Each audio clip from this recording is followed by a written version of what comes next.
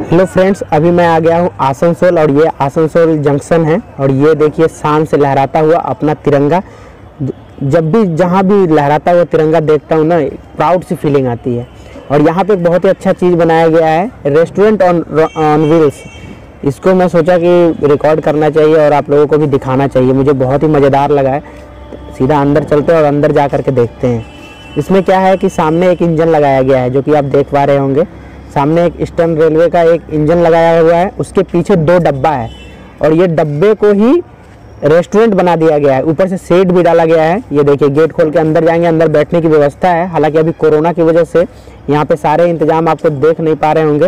ये रहता है, मैंने देखा है इससे पहले भी एक बार और देखा था।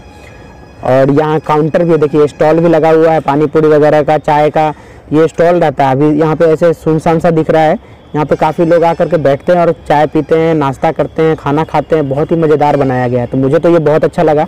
आप लोगों को कैसा लगा कमेंट करके ज़रूर बताना। और दोस्तों, कोरोना एक बार फिर से काफ़ी तेज़ी से बढ़ रहा है। तो अपना और अपनों का ख्याल रखें, स्वस्थ रहें, मस्त रहें।